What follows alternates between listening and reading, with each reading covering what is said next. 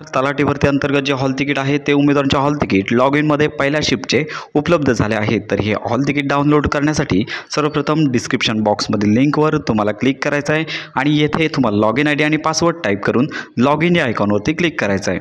Log in या आयकॉनवरती click केल्यानंतर अशा प्रकारची विंडो ओपन होईल त्यामध्ये क्लोज करायचं आहे आणि स्क्रोल डाऊन करून मेन्यू या आयकॉनवरती तुम्हाला क्लिक करायचं आहे.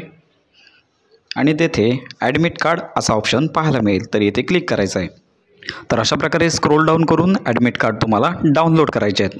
तर अशा प्रकारे डाउनलोड ॲडमिट कार्ड या आयकॉनवरती क्लिक करून तुम्ही हे हॉल तिकीट डाउनलोड करू शकता. तर यामध्ये शिफ्ट नेम दिनांक डेट संपूर्ण माहिती तुम्हाला पाहून घ्यायची आहे. तर ही महत्त्वाची अपडेट इतरांपर्यंत नक्की शेअर करा.